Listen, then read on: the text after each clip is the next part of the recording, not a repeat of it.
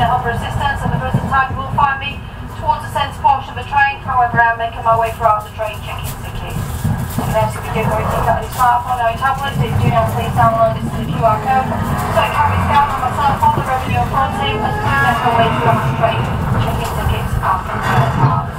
We do safe and secure. We do have catering facilities available on board our service.